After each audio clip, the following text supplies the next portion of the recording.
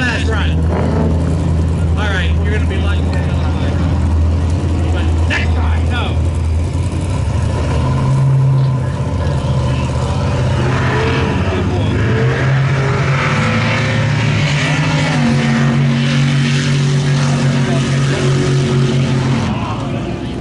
Down for the Kirkfield Buick.